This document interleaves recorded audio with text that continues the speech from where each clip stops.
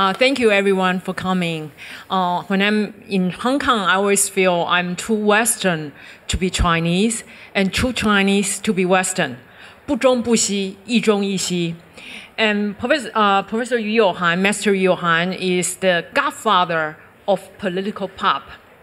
And Professor Gladston, among many of his titles, he also edits a journal of contemporary Chinese art. And Professor Glass, um, Gladston, I'm wondering um, if you could, in a nutshell, describe Professor Yu and his style and his position in art history or cultural history. Um, well, thank you very much. Um, I guess that depends on whose history we're talking about. Mm-hmm. I don't think there's a single definitive history, particularly of the kind of work that we're talking about in China since the 19, late 1970s. Um, certainly, from an international point of view, uh, Yu's work is important because it's amongst some of the first works of contemporary Chinese art that were recognized by an international public. He's one of the progenitors of political pop and has created iconic images which are still recognizable as being representative of contemporary Chinese art. But before that, he was a groundbreaking painter, as we can see from some of the images behind us. In the 1970s, he made um, uh, painterly works that were influenced by post Impressionism that were groundbreaking within China at the time. And also, he was one of the early, earliest people to develop a signature abstract style in China. So he has a significance before that, which he's recognized for within a Western context. But I think beyond that, he's just a really good painter. Uh, you know, he's a, a, very sensitive, thoughtful maker of paintings, and he's been able to negotiate the, the possibility of painting through changing times. I mean, he's been working as, you know, as a mature painter since the 1970s, and his style has changed, often radically and in a circular fashion. Certainly, the abstracts he made in the 1980s, he's kind of gone back to that style more recently as a way of negotiating the possibility of a vital, felt painting through very, very turbulent times, not only in China but internationally over the past 30 or 40 years. Mm-hmm. We'll come back to the uh, question of circularity in terms of history, which I found uh, profoundly fascinating. Um, I would like to ask. Uh, uh, Master Yu, uh, Yu 老师, uh, 刚才呢, just now, Professor Gladston mentioned that your important position in art history and culture history. So, I would like to discuss your personal style and especially um, your return to your previous style. I would like to ask you, from your perspective, how do you want to be seen in art history?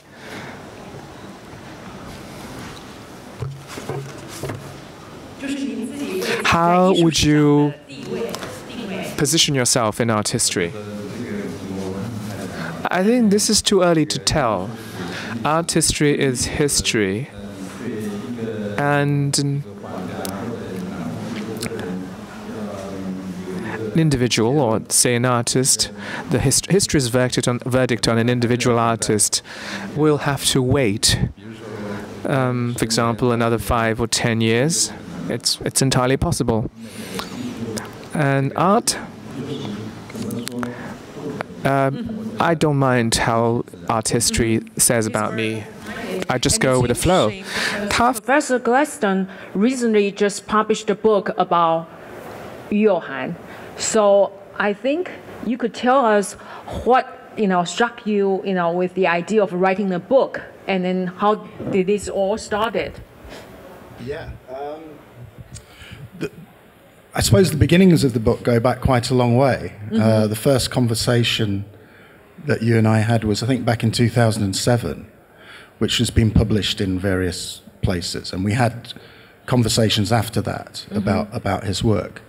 The idea of a book, I think, arose maybe about six or seven years ago. Mm-hmm. Um, so the whole making of the book has taken a long time. Uh, which is not a bad thing. You know, it takes time to do the research on the work and also get a feeling for the work and what one wants to say. You also have to have the material, sort of propitious material conditions. The right publisher, you know, we found a fantastic publisher in 3030 Press and John Millichap, uh, also working with ShanghART, the gallery. Every, and, and Master Yu himself, he, he had to be happy that we were doing the book because he played a major part in, in the making of the book, mm-hmm. which is uh, rare. It's difficult to do that. So we had the right conditions to make the book. Um, there are very few, really, if any, significant, serious scholarly monographs on contemporary Chinese artists, which may seem like a s- kind of surprising thing to say mm-hmm. because there's so much writing about contemporary Chinese art. But so much of that art exists in a, in, in a kind of more popular context. So writing a kind of serious, theorized, well researched, beautifully produced book is not necessarily a straightforward thing to do. So we just found ourselves with the right conditions to do so. And I think the time has come, in the general sense, to produce this kind of work. Um, you know, I think it's a good time to start producing these kind of more substantial written works on contemporary Chinese art. And I think in the case of this work, we have an artist who has had a long painterly life.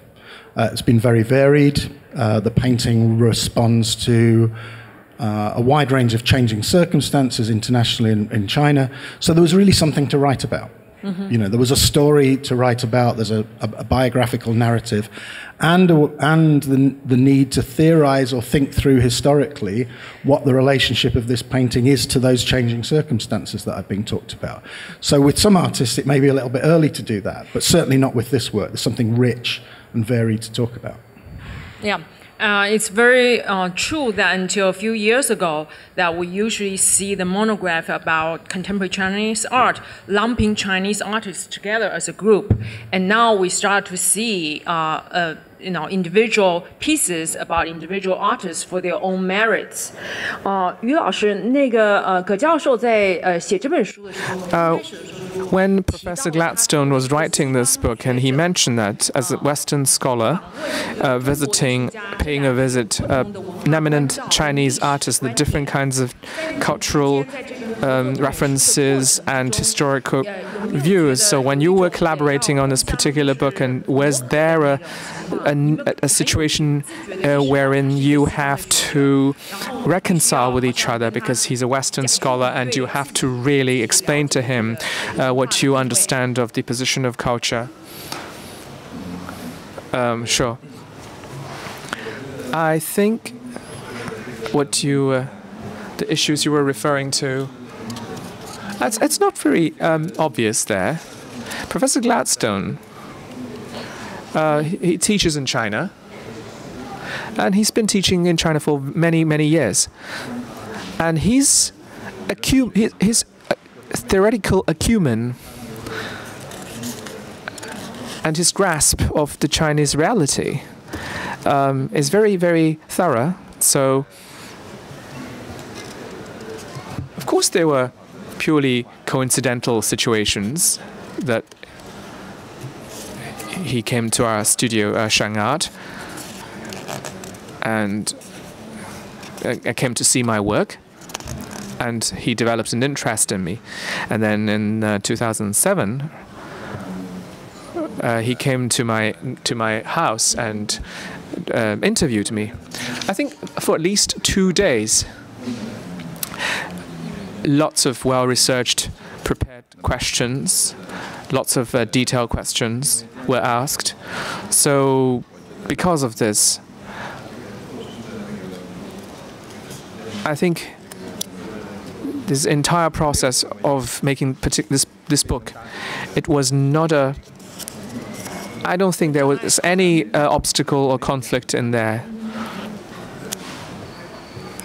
I think I was very happy with the whole process. Uh, was the bookmaking process creating any surprise to you in terms of surprise, surprised uh, by the, any discovery about his works or his lives that you didn't learn about until the book?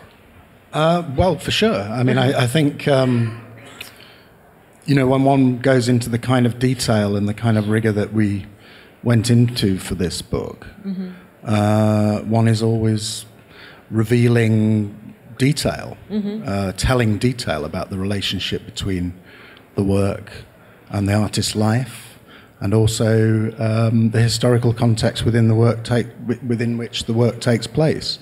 And I think it's it's that kind of detail which throws up kind of new insights into how one might interpret mm-hmm. the work.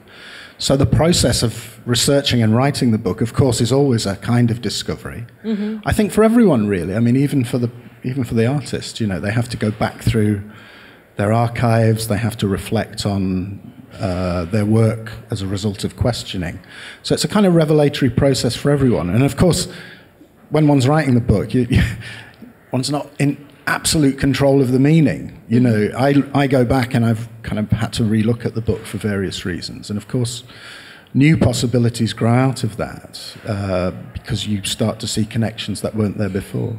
And I think one last thing to say is, it, although it was a you know, it was a kind of relatively easy process in one sense. You know, everybody was very committed to doing the book.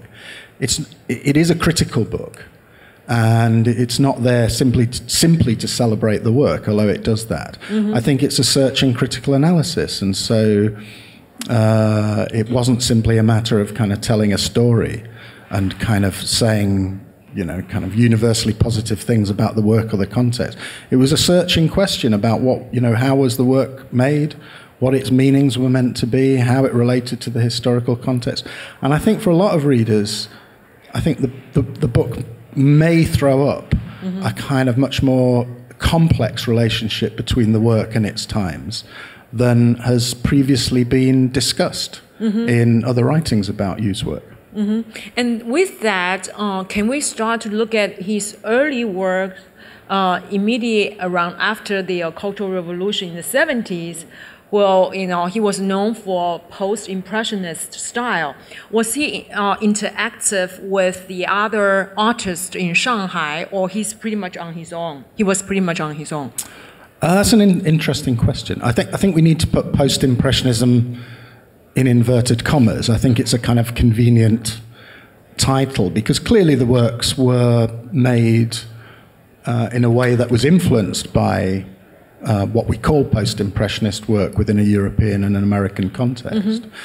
But you know that using that title kind of suggests a slightly negative reading that they're they're kind of copies or derivative, and that's not the case. I mean, it's an intersection, as I think is the case throughout Yu's work. There's an intersection between, if you like, a westernized painterly tradition, modernist tradition, and also um, a, you know various cultural traditions in the Chinese context or the Asian context.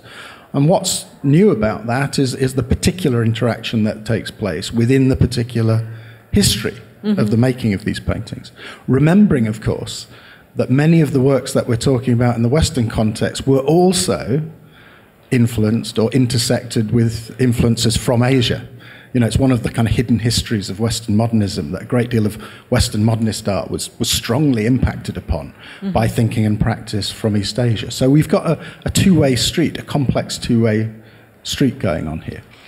I think the thing about those early works from the 1970s is, is in many ways they're hugely radical. You know, they're, they're not the they're not the kind of works that were being necessarily supported by official culture in China at the time. And it may seem surprising that it was possible to paint um, some of those paintings as early as 1973 in China, uh, where socialist realism was still, in theory at least, dominant. Mm-hmm. They don't conform to the, the political edicts of the time. They're conforming to the desire of a, a, single artist to paint in a particular way, in a way that he felt was appropriate to painting and that he thought was sustainable in, within that context, which is going against that, the grain of that political context at the mm-hmm. time. So they're very important works in that sense. I don't think Yu has ever been a kind of loner. I mean, he was a teacher for many, many years and taught some very significant artists, younger artists who've contributed to contemporary Chinese art. So he's always been connected, particularly within the Shanghai milieu. Um, he may be able to tell us differently, but I d- I don't think he was ever kind of a person who wanted to be in a group. Mm-hmm. I think it's always been about interacting with other people, but going your own way, mm-hmm. finding your own voice. And although there were there have been lots of artists as part of contemporary Chinese art who've done that. Of course, the 1980s is very famous for you know groups of artists and people working together in China. Mm-hmm. You know, protective groups and interactive groups. In many ways, uh, Yu was was not doing that. I mean, he participated in group exhibitions and this kind of thing. But this has been about a kind of an individual reflective effort on what might count as painting right now. Mm-hmm. And what counted as painting yesterday isn't necessarily going to count today. Mm-hmm. So if, if, if we need to change, we've got to change. Mm-hmm. And I think that's an individual consideration about what needs to change. But also, obviously, reflecting on the conditions of society. Uh, the shift towards political pop, for example, uh, was very much a response to changing, very quickly, radically changing circumstances in China during the late 1980s. 嗯哼。那于老师，呃，一九八一年的时候，在上海的历史美术馆，He was in the his his Shanghai Museum of Historical Art and the Boston Art Museum was an exhibition of um, painters. So I, I, just want to draw upon uh, uh, Gladston's book. So, so you basically saw Western art for the first time, like Kandinsky, by Kandinsky or Mondrian. Uh, were you extremely excited about it when you first saw them? Did you mean the Boston um, Art Museum exhibition in Shanghai Art Shanghai Museum. Both are actually museums, not art museums. So there were there was an exhibition on tour, on loan. Sorry. Lots of uh, the abstract art, contemporary abstract Amer art of America. Uh, I think that quite a few, well, a dozen painters, almost 20 uh, names were represented. Uh, I just watched, uh, I saw all of them very, very slowly. Some works I have seen or read about in uh, other venues, such as in the range of things as calendars or books or journals, etc., etc. So overall, I was I was extremely excited because that was such a such a big collection of various artists, and and the original works really, really uh, were quite impressive. I was extremely happy. But on the other hand, I wouldn't want to exaggerate to say that I was extremely, extremely excited. I'm kind of not easily excitable. I never really found myself in a highly excited state, but I was just happy, quite happy. And and just juggle between all these, um, seeing all these works. And I think, and it did exert an impact on me. And I was extremely grateful to that uh, exhibition. And so, Master Yu, I also believe that you also emphasize the independence of the artist and uh, not in the service of politics. So, in 1985, your you first exhibited your ex abstract art, and in Chinese society of that time, especially the art community, what was their reaction towards um, your art?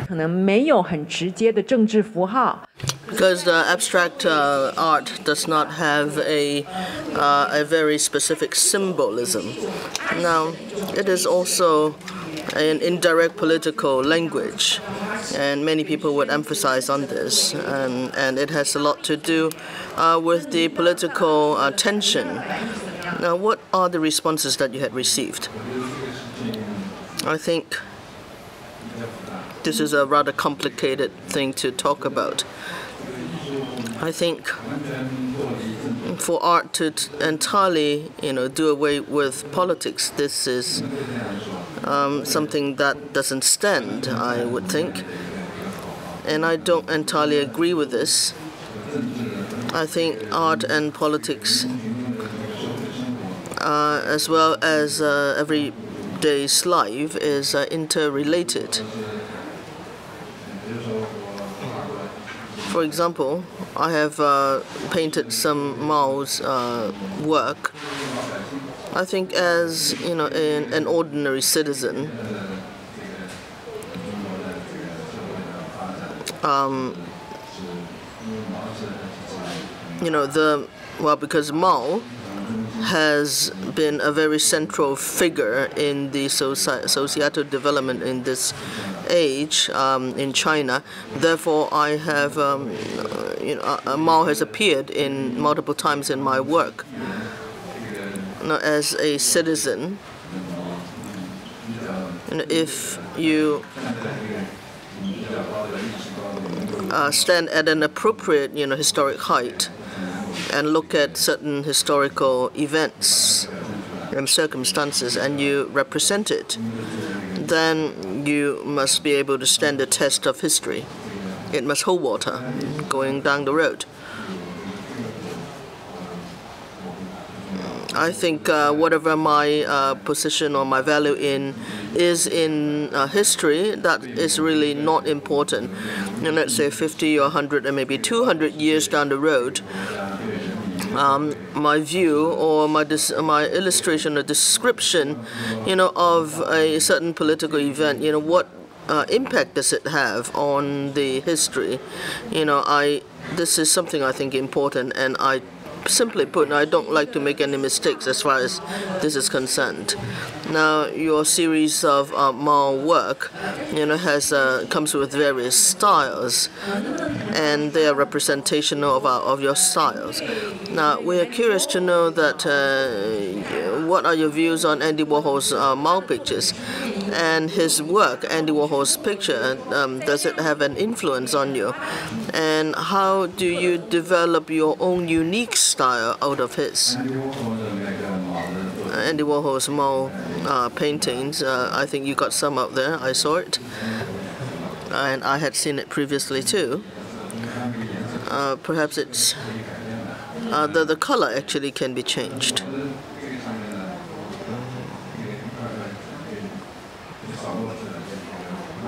And uh, the slides are like um, it's, it's playing very quickly. Well, my, my work is different from his. I mean, Andy's.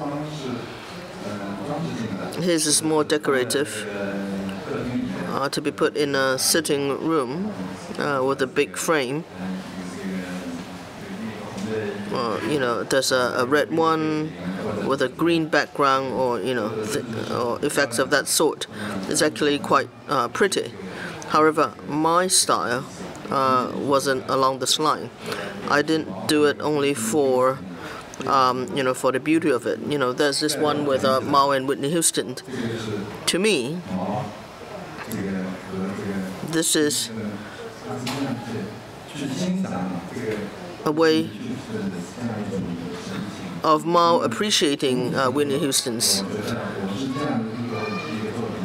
So my work put them together uh, with the emphasizing on the impress expressions. What I'm saying is that with the opening and reform of China, this you know this piece of work of mine is mainly to describe that. You know, actually, I had painted two or three uh, versions of this. Uh, Mao with a you know little girl or with another another very famous personality. You know, this is something that I did to, uh, to commemorate, uh, commemorate, the opening and reform of uh, mainland China. What do you think about Mao's um, de depiction of Mao in Andy Warhol's art versus uh, Master Yu?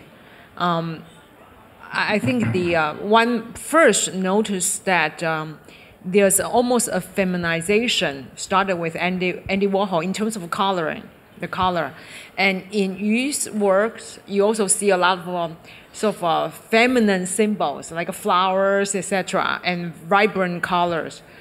What do you see these two sort of paradigms in two different uh, cultural positions? Um, I'm not sure about the feminization. I take your point, but mm. um, I think I think one of the things that perhaps links you and Warhol is to echo the point that you just made, which is that it, it's impossible really to dislocate artistic production, the making mm-hmm. of art, from politics. Mm-hmm. It exists within a political milieu. I think one of the key things to think about is not only that Andy Warhol and you are coming at the making of visual images from differing specialist contexts. Mm-hmm. So Master Yu is, is in part coming at his work in relation to a Chinese tradition, mm-hmm. of which Warhol was most certainly, you know, just didn't know much about that. It wasn't part of his milieu. Warhol's coming out of, of uh, an American modernist uh, situation. Both of them uh, are engaging with politics and painting, but within differing context, but overlapping context. So Warhol's decision to make silkscreens and paintings of Mao, in part, is influenced by the impact of uh, Maoism on Western culture, mm-hmm. particularly during the 1960s and 70s, where the Cultural Revolution was something that was enormously important as part of the background to the, the counterculture in America. So if we situate Warhol's paintings as part of postmodernism, uh, that, that work, which develops arguably from the early 1960s or maybe a little bit earlier onwards, as a, um, an art which is self consciously engaged with popular culture and media culture and wider political culture, rather than necessarily trying to turn on, in on itself, um, like the abstract work before that, which wasn't successful in turning away from the world, uh, we should say. But in any case, that kind of American postmodernism, which is politically engaged, is engaging with a particular westernized or American sensibility about events. And so Mao appears in Warhol's work in relation to that, that situation. Of course, you and his contemporaries have a different view. Mm-hmm. I mean, they, you lived through the Cultural Revolution. He was a student in Beijing during the Cultural Revolution. He had a direct, you know, kind of lived experience, which Warhol just did not have. And so, although the paintings, you know, the Mao paintings um, which uh, Yu has produced, do have a reference towards not just Andy Warhol, but other pop artists um, as well. Um, uh, they also speak to a particular localized experience of what Mao's significance and image means. And I think he's absolutely right. There's a, there's a kind of decorative quality in Warhol which is very commensurate with thinking and practices around American postmodernism, which doesn't appear in this work. Although there's an overlap, there's a connection between the two. And I think the last thing to say really is that because there is this connection, inalienable connection between artistic production and politics, that we have to see Yu's work both as a kind of an inward looking attempt to think about and make work which is vital as painting within that particular moment from the point of view of an artist and a maker, but also thinking outwardly about how to negotiate the possibility of painting in relation to particular political, a particular political situation. And of course, those Mao paintings and, uh, have been made after Mao, after the death of Mao. So they partly negotiate that position in retrospect as well as in relation to the immediate political circumstances in China and internationally at the time when they were made. Master Yu, I think uh, after modernism, just like Picasso, uh, you know, there has been some uh, forking out, you know, uh, of the career of uh, various artists. For example, uh, Picasso has a blue period and a pink period. Each comes with a di very different style. However, if we look at the Art Basel, uh, if you look at um, you know uh, several places in Hong Kong, you, they, you can find uh, your work. Uh, for example, in Basel, in Art Basel, there is one work uh, of yours called Zhandruang in 2015. it is about a realistic person are standing on top of a roof, a roof eave. Then at Art Central, there is another piece uh, that was done in this year uh, about the life of Mao. And if you go to uh, the Sigg collection at M Plus, there's just one on what that you did in one, 1999 uh, about uh, Chairman Mao chatting with the peasants in uh, Liaoshan. So this is from 1994 to 2012. Uh, you know, a, a, series of abstract works that you did too. Uh, that you can find that too in Hong Kong.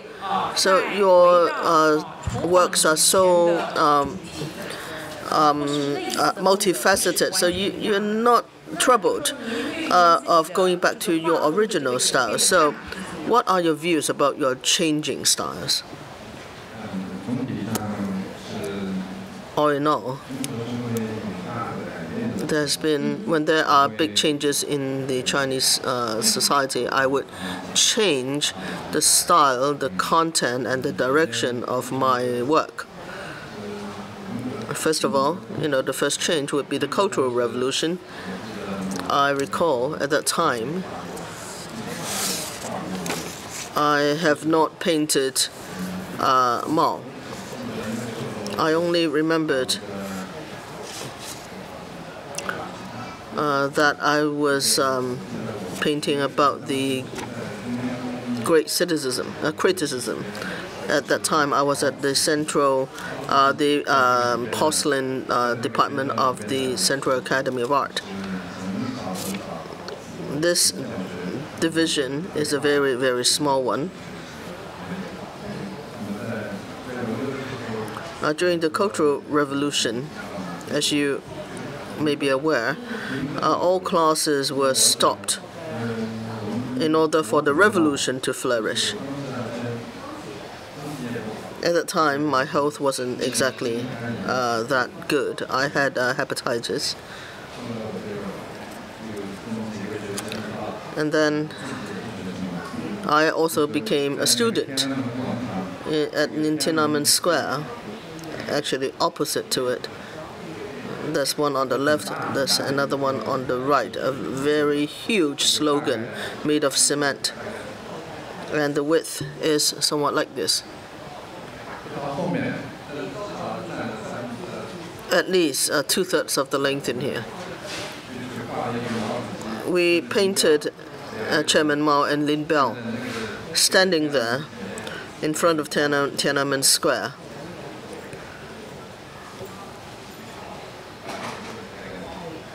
and Mao was uh, lying, and Lin Biao is there, uh, taking uh, with him a little red book.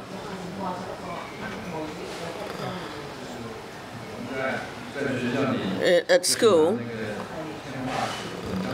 uh, we took entire you know, piece of acrylic to, you know, paint one row after another.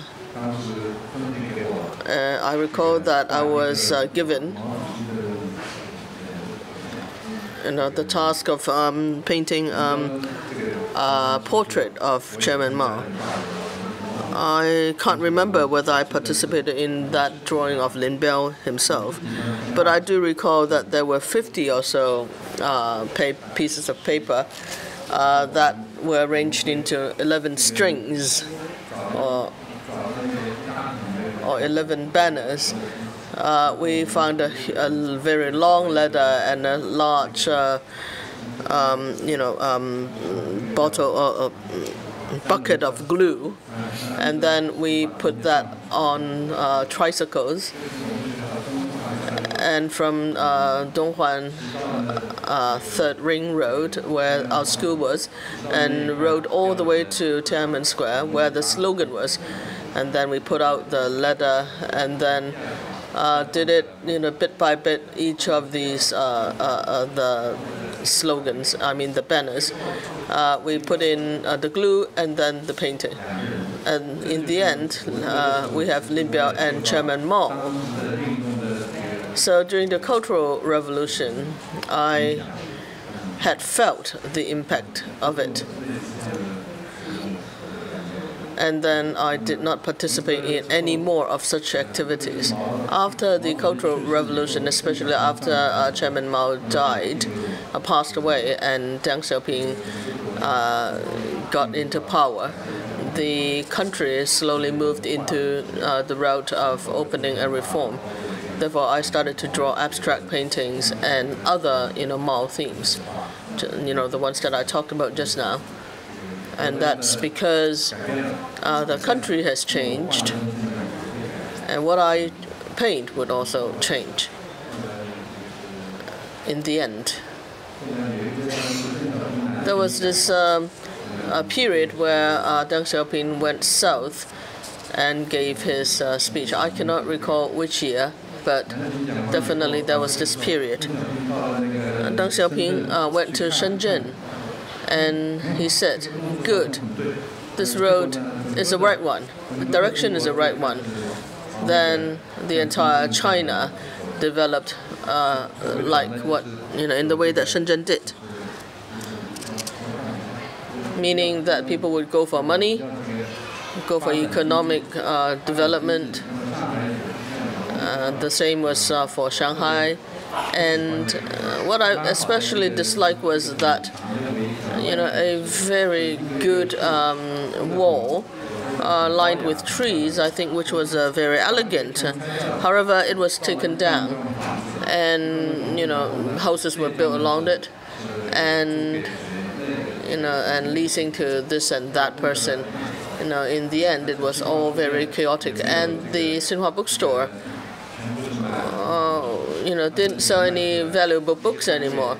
You know, they were you know, selling cardigans or you know, clothings. You know, all of these stores, you know, had to open and had to reform, and had to make uh, a lot of money, you know, very quickly. You know, at that time, I felt.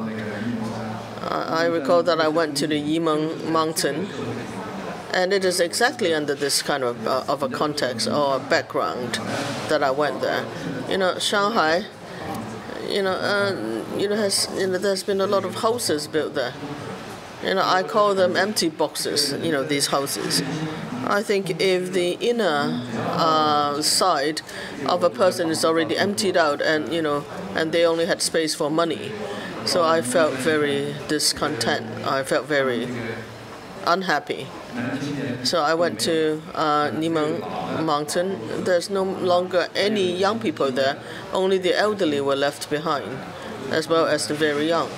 I think, you know, they remain uh, very simple people, and you know their work tools, as well as you know the the the houses, you know, remain very much the same as the, you know, Han Dynasty there's no uh, modern machineries, etc. So I made some drawings or paintings about Yimeng Mountain.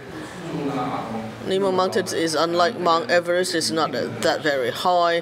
However, the stone, the rock, was very, you know, very uh, harsh. Uh, it has, however, it has very big boulders, and and you know next to the boulders uh, there was a lot of uh, fields of uh, potatoes and peanuts and you know to me you know this is more like a, a, quiet place. And emotionally i am more attached to these uh, peasant lifestyle. So i draw i drew a lot of uh, work on this too.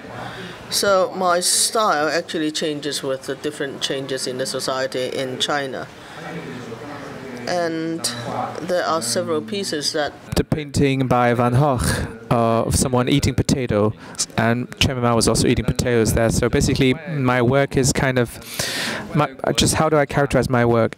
Foreign artists, they are also um, uniting to uh, to each contribute. Um, a portrait of Mao. In the uh, 90s, I think Mao portraiture, I stopped doing that, I think. Because some uh, Shanghainese, uh, some lead, uh, somebody from the Shanghai leadership told me that I had better stop, uh, cut it out. I said, okay, sure, I'll do. And then I real after a few years, I mean, during the Cultural Revolution, I think there was a very famous slogan. Um, uh, people from across the world love Chairman Mao. I love this totally. And it's it furnishes an excellent um, theme for my uh, work. So I just um, I tried to put a lot of artists like Cezanne, like Picasso, like uh, Van Gogh. Uh, I kind of mobilized all of them in their styles, you know, and tried to to give them my uh, interpretation. So I kind of stand in uh, for them and paint a Chairman Mao. So I did about 30 of them, 30 uh, international artists. and it took me altogether uh, 30 uh, Mao portraits. So, in the style of you know these international artists. Um, so, simply put, it's a foreign Chairman Mao. Mr. Yu just talked about his ability to mobilize the Western masters to recast Mao, and I want to give you the time uh, to take one or two questions for uh, Master Yu and Professor Gladston.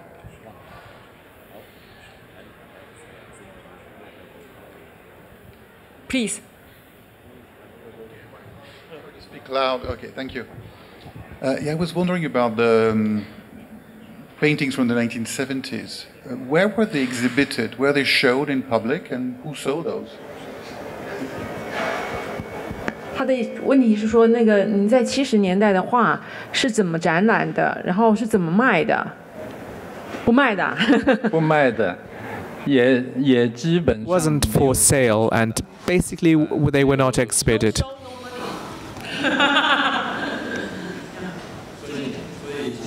So in the 1970s, 1980s, uh, I did very few uh, works because there was no gallery, and there were no no there was nowhere to exhibit. So there were no collector. There was nothing basically. So when I had time, actually, I would just paint to to please myself, so to speak. The first time we will be seeing these paintings, or were they shown later at some point? 呀后来有没有这些画有没有展出？还是这本书是就是算是头一次把它展现到世人的啊、眼前？这个是 I think it's such first time on such a scale that my works were, you know, presented, and it was also containing a lot of text. So P- Professor Gladston, because he interviewed me and he actually spent quite a lot of time focusing on my work, so he actually wrote very rich material.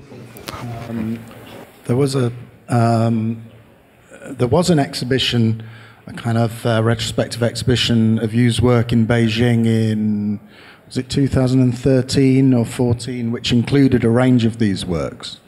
I think I think the different styles have been shown individually in different places, but maybe maybe that retrospective in Beijing was the first time that the works have been shown together in it physically. And I know there's an upcoming show of uh, Yu's work which is showing a, a reasonably wide range of the styles, which is coming up in Shanghai shortly. So, although it's not exactly the first time, I, I think certainly the book is the first publication to put everything together in a publication. Yeah, if you speak fast enough, I can take the second question and we'll wrap it up. Anyone?